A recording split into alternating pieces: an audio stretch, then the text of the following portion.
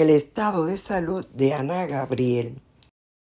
La reconocida cantante mexicana Ana Gabriel ha sido hospitalizada de emergencia luego de que llevara a cabo un concierto en Chile y su salud se viera comprometida aún eh, con maquillaje debido a que todo ocurrió de forma muy repentina.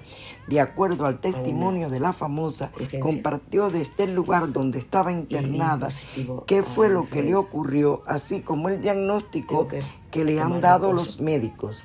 Para poder cumplir a través de su cuenta de Instagram, la intérprete de éxito como simplemente amigos, quien como tú y hay amor, compartió los pormenores e incluso le pidió a sus familiares, amigos y seguidores que oren por ella y su pronta recuperación, pues todavía tienen una serie de conciertos en diversos países al sur del continente americano. Vi positivo a influenza.